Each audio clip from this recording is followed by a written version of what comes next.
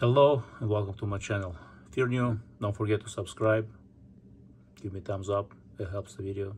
It helps me create more content that you guys like. So, very often I get this question, is it safe to use 100% synthetic motor oil in older cars? Like 2090s, 2090s or so. Yes and no. Now I'll explain to you why yes, why no. Let's start with the yes. Why yes? If your engine is clean on the inside, how do you know your engine is clean on the inside? So, when you remove your engine oil cap, like right there, you look inside. Sometimes it's not that easy to see inside. On this vehicle, it's it's very difficult because you have tube. Let me show you. When you remove the oil cap, and your engine components on the inside look something like this, clean, then yes, you can use, see how clean, there is no carbon built up anywhere.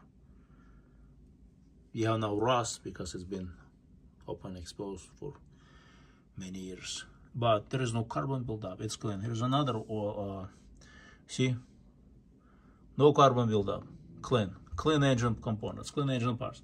So if it's clean on the inside, it's safe to use 100% synthetic oil. However,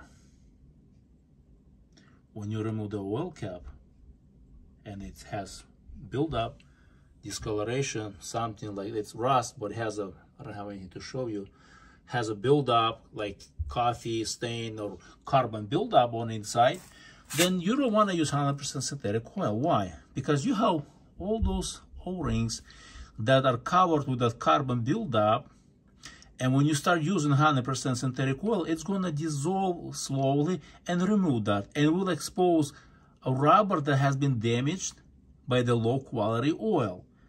It's called dry rot it becomes. A dry rotted rubber was covered with a bunch, a good layer of carbon buildup. Now all that's being dissolved and it will expose the cracks and will and oil will start leaking through.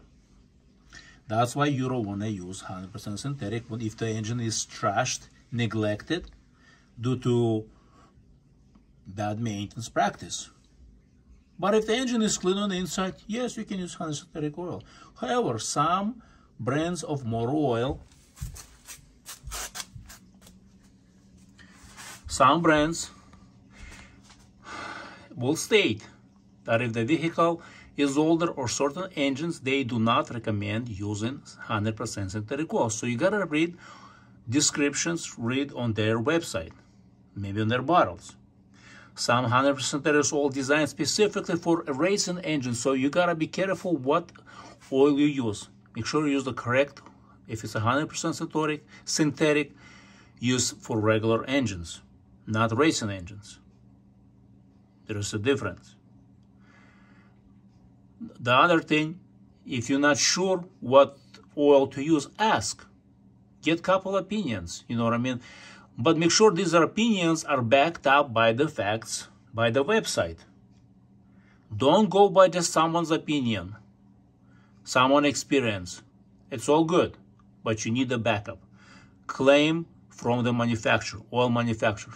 Two, to verify if someone's opinion or experience is true or they're just trying to mislead you. Uh, simple, straightforward, and um, well, thank you for watching. If you have more questions, uh, go ahead and ask.